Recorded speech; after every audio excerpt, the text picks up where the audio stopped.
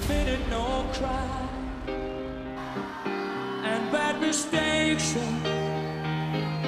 I've made a few.